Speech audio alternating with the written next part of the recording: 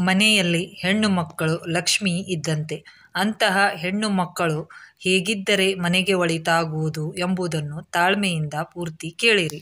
ಹೆಣ್ಣು ಮನೆಯಲ್ಲಿ ಸದಾ ನಗುಮುಖದಿಂದ ಹಸನ್ಮುಖಿಯಾಗಿ ಇದ್ದರೆ ಗಂಡ, ಮಕ್ಕಳು ಮತ್ತು ಮನೆಗೆ ಶ್ರೇಯಸ್ಸು. ಹೆಣ್ಣು ಮಕ್ಕಳು ಬ್ರಾಹ್ಮಿ ಮುಹೂರ್ತದಲ್ಲಿ ಎದ್ದು ಸ್ನಾನ ಮಾಡಿ ಮನೆಯನ್ನು ಸ್ವಚ್ಛಗೊಳಿಸಿ ಹೊಸ್ತಿಲನ್ನು ತೊಳೆದು ಅರಿಶಿನ, ಕುಂಕುಮ ಇಟ್ಟು ರಂಗೋಲಿ ಹಾಕಬೇಕು. ಮನೆಯ ದ್ವಾರಬಾಗಿಲನ್ನು ಯಾವಾಗಲೂ ಹೆಣ್ಣು ಮಕ್ಕಳು ಸ್ವಚ್ಛವಾಗಿಟ್ಟುಕೊಳ್ಳಬೇಕು. ಏಕೆಂದರೆ ಹೊಸ್ತಿಲಲ್ಲಿ ಮಹಾಲಕ್ಷ್ಮಿಯು ವಾಸವಾಗಿರುತ್ತಾಳೆ.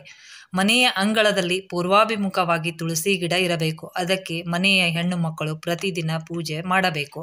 ಹೆಣ್ಣು ಮಕ್ಕಳು ಮನೆಯಲ್ಲಿ ಕೂದಲು ಬಿಟ್ಟುಕೊಂಡು ಇರಬಾರದು. ಇದರಿಂದ ಮನೆಯಲ್ಲಿ ಕೆಲಸಗಳಿಗೆ ವಿಘ್ನ ಉಂಟಾಗುತ್ತದೆ. ಸಾಯಂಕಾಲ ದೀಪ ಹಚ್ಚಿದ ಮೇಲೆ ಕೂದಲನ್ನು ಯಾವುದೇ ಕಾರಣಕ್ಕೂ ಬಾಚಬಾರದು. ಶುಕ್ರವಾರ ಮತ್ತು ಮಂಗಳವಾರ ಮನೆಯಿಂದ ದಾನ ಮಾಡಬಾರದು. ಮುಖ್ಯವಾಗಿ ದೀಪ ಹಚ್ಚಿದ ಮೇಲೆ ಸಾಯಂಕಾಲ ಯಾರಿಗೂ ದುಡ್ಡು ಕೊಡಬಾರದು. ಹೆಣ್ಣು ಮಕ್ಕಳು ಯಾವುದೇ ಕಾರಣಕ್ಕೂ ಮನೆಯ ಹೊಸ್ತಿಲ ಒಳಗೆ ನಿಂತು ಯಾರಿಗೂ ದಾನ ಕೊಡಬಾರದು. ಮನೆಯಲ್ಲಿ ಹೆಣ್ಣು ಮಕ್ಕಳು ಮುಸ್ಸಂಜೆಯ ವೇಳೆಯಲ್ಲಿ ಕಣ್ಣೀರನ್ನು ಹಾಕಬಾರದು. ಏಕೆಂದರೆ ಮನೆಯ ಏಳಿಗೆ ಆಗುವುದಿಲ್ಲ. ತಾಯಿ ಲಕ್ಷ್ಮೀದೇವಿಯ ಕೋಪಕ್ಕೆ ಗುರಿಯಾಗುತ್ತೇವೆ. ಸ್ನಾನ ಮುಗಿದ ಮೇಲೆ ತಲೆಯ ಕೂದಲನ್ನು ಬಿಚ್ಚಿಕೊಂಡು ಪೂಜೆ ಮಾಡಬಾರದು. ಕೂದಲನ್ನು ಕಟ್ಟಿಕೊಂಡಿರಬೇಕು.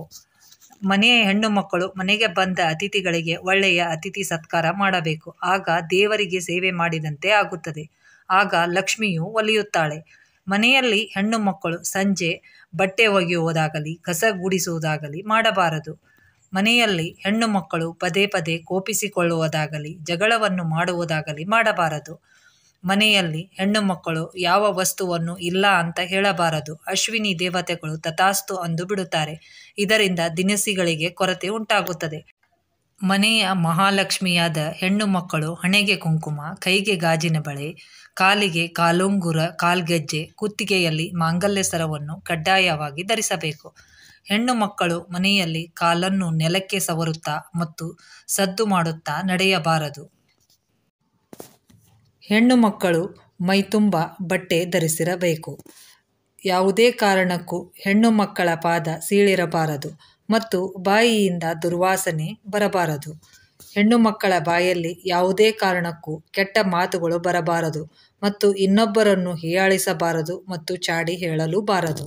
ಹೆಣ್ಣು ಮಕ್ಕಳು ನಿಯಮಿತವಾಗಿ ಮನೆಯಲ್ಲಿ ಜೇಡರ ಬಲೆ, ಧೂಳು ಉಂಟಾಗದಂತೆ ಸ್ವಚ್ಛವಾಗಿಟ್ಟುಕೊಳ್ಳಬೇಕು.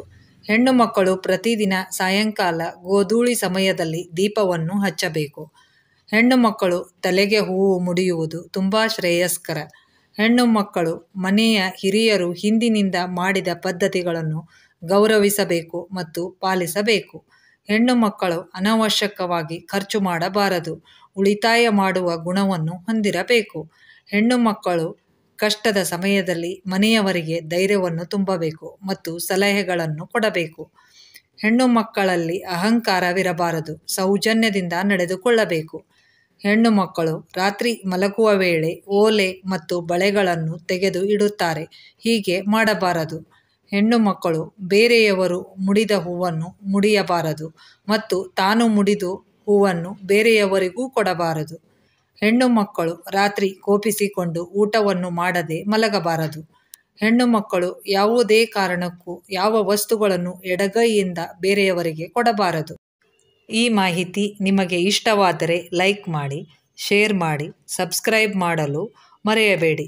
ಎಲ್ಲರಿಗೂ ವಂದನೆಗಳು. Thank you so much.